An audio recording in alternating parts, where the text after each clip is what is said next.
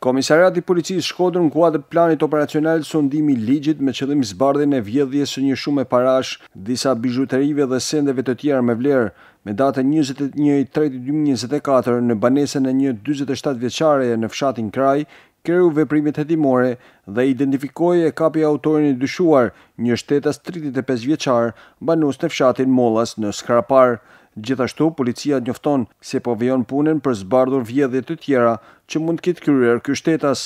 Materialet procedurale i kanë kaluar tashmë prokurorisë pranë gjykatës së shkallës së parë të jurisdiksionit përgjithshëm në Shkodër për veprime të mëtejshme.